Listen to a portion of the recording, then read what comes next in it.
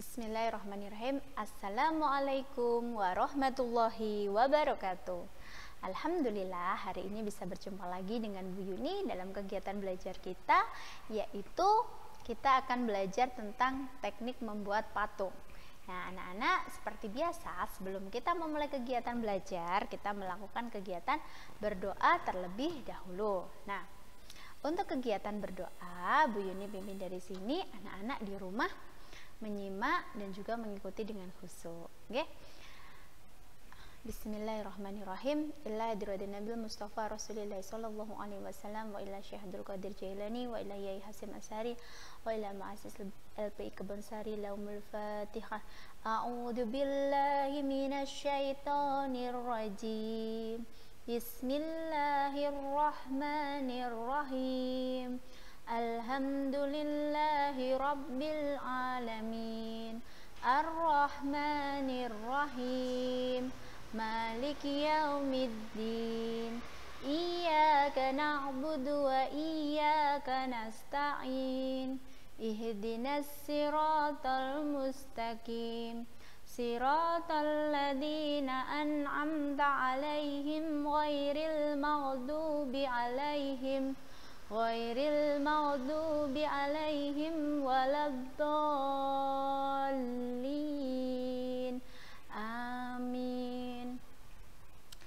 kegiatan berikutnya. Kita membaca salawat nariyah ya.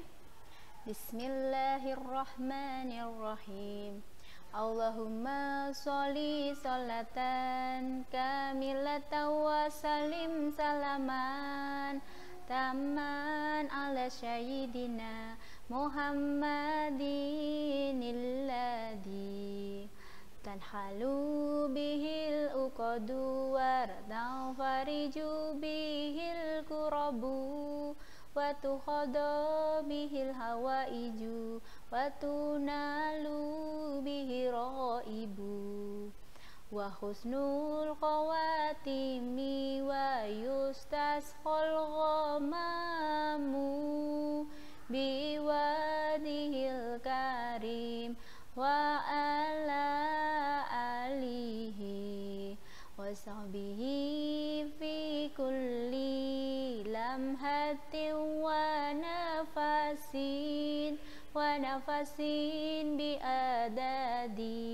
kulli ma'lumillah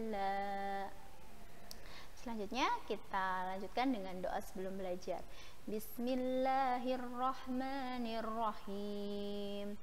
Raditu billahi rabba wa bil islami dina wa bi Muhammadin nabiyya wa rasulah. Rabbi zidni ilman warzuqni fahman. Amin amin ya robbal alamin. Alhamdulillah untuk kegiatan awal sudah kita lakukan dengan baik. Selanjutnya Bu Yuni akan menyampaikan tentang kompetensi yang akan kita capai yaitu 4.4 membuat patung. Jadi tujuan pada pembelajaran kali ini dengan kalian menyimak video ini sampai habis ya Tentunya kalian akan dapat menyebutkan alat dan bahan untuk membuat patung. Yang kedua nanti anak-anak juga akan dapat menjelaskan teknik membuat patung Ya, jadi ada dua itu tujuan yang akan kita capai pada pembelajaran kali ini. Nah sekarang untuk materinya kita mengingat kembali ya pengertian tentang patung.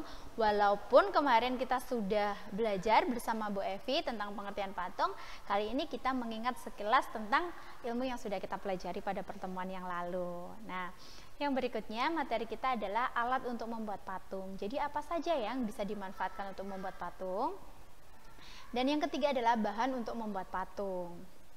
Kemudian empat teknik membuat patung yang terakhir, yang kelima, yaitu merancang pembuatan patung. Jadi harapannya setelah anak-anak tahu apa saja alat yang digunakan, apa saja bahan yang bisa digunakan untuk membuat patung, dan teknik membuat patung, nanti anak-anak bisa merancang untuk melakukan pembuatan patung dan sekaligus bisa menciptakan sebuah hasil karya berupa patung. Nah, berikut ini adalah pengertian patung sekilas ya.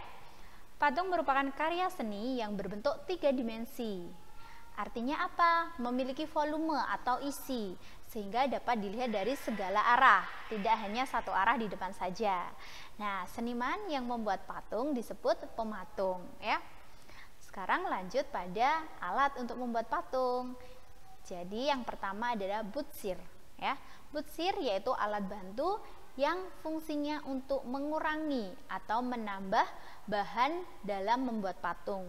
Butsir umumnya dipakai untuk membuat patung dari bahan yang lunak ya. Gambarnya seperti ini nak ya. Bisa kalian amati. Di sini ada berbagai uh, macam bentuk. Nah, ini nanti digunakan sesuai dengan uh, bentuk yang akan diciptakan. Jadi ini nanti digunakan untuk memotong, mengurangi atau menambahkan bahan untuk membuat patung. Selanjutnya, alat yang kedua adalah meja putar. Meja putar yaitu meja yang bisa diputar untuk membuat patung.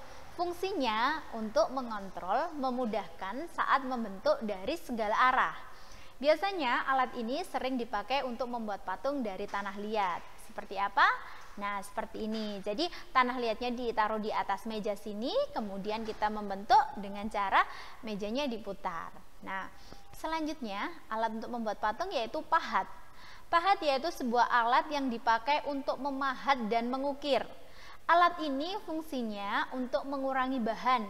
Ada dua jenis alat pahat, yaitu untuk mengukir kayu dan juga untuk memahat batu.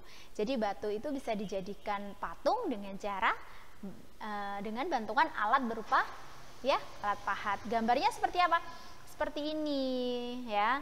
Jadi ini digunakan untuk memahat kayu maupun memahat patung. Ketika Bu Yuni dulu masih kecil, ini namanya adalah apa? Tatah, ya. Nah, selanjutnya alat yang berikutnya adalah palu. Palu adalah alat pelengkap dalam memahat. Palu bisa memberikan tenaga dorongan pada alat pahat, ya. Jadi eh, eh, alat yang tadi alat pahat dipukul sama palu, ya. Nah, bahan dasar patung yang bisa dibuat dengan pahat tadi apa?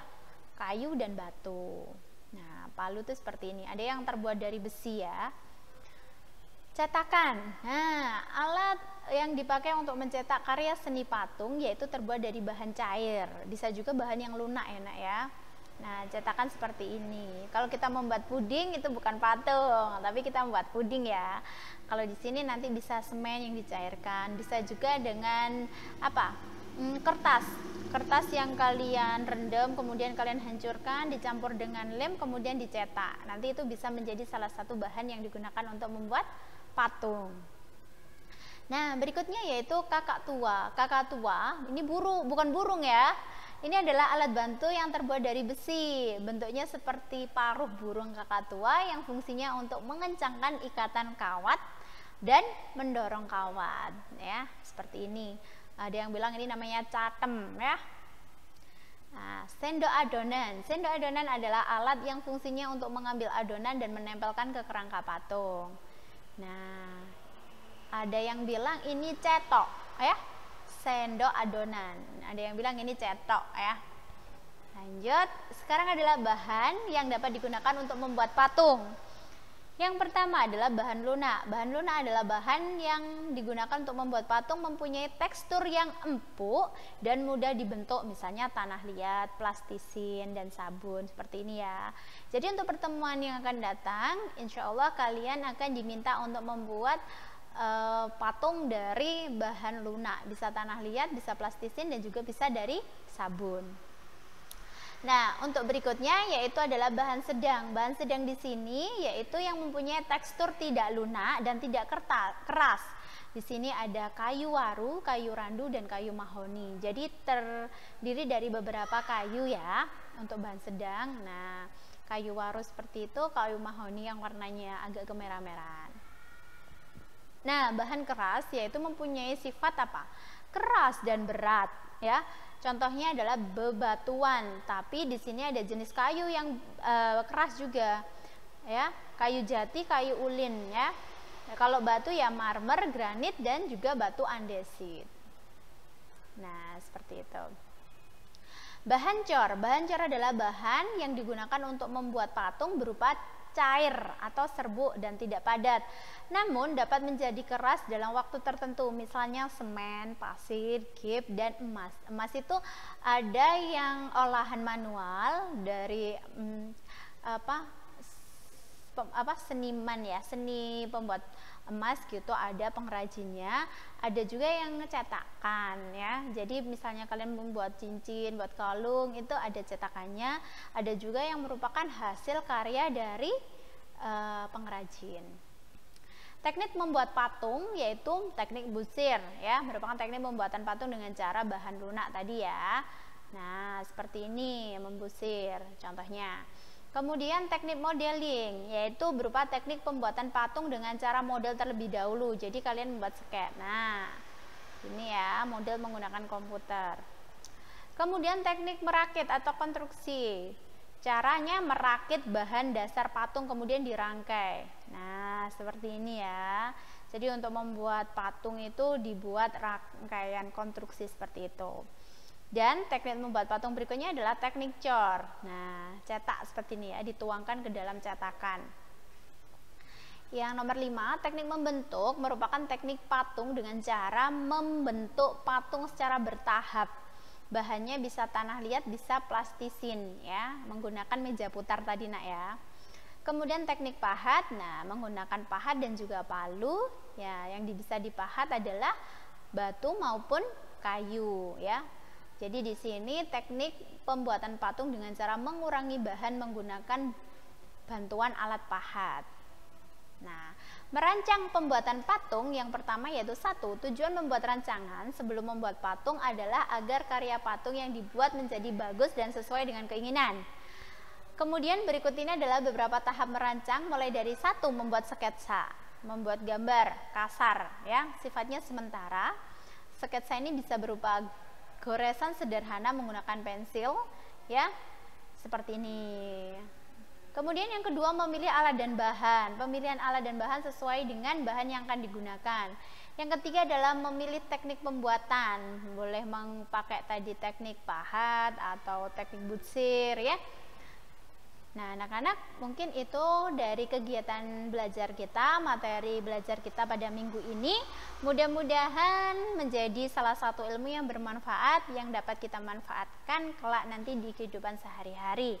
Nah, baik untuk kegiatan kesimpulan, dapat disimpulkan di sini adalah patung merupakan karya tiga dimensi yang mempunyai apa? volume Kemudian alat yang digunakan untuk membuat patung tadi banyak sekali mulai dari butsir, meja putar, palu, alat pahat, ya sendok cetakan dan lain sebagainya. Bahannya dibagi menjadi tiga ya, bahan lunak, bahan sedang, bahan keras, dan juga ada bahan cor.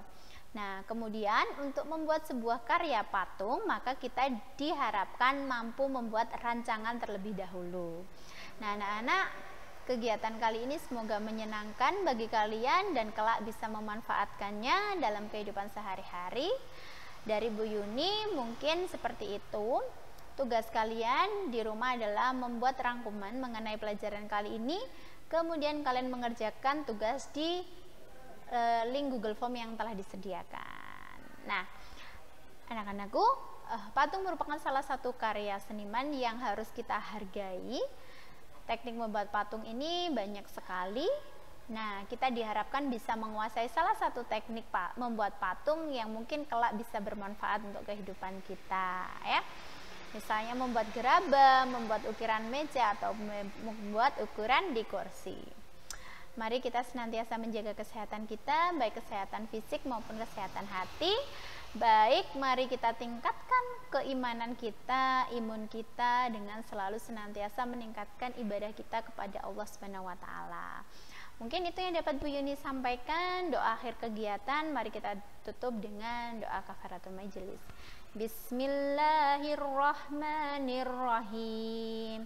Subhanakallahumma wa bihamdika Ashadu an la ilaha illa anta astaghfiruka wa atubu ilaik Walhamdulillahirabbil alamin. Demikian dari saya pada pertemuan kali ini.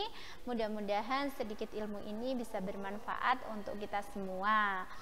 Uh, untuk kurang lebihnya Bu Yuni sampaikan mohon maaf. Uh, akhir kalam wabillahi taufik walidayah. Wassalamualaikum warahmatullahi wabarakatuh.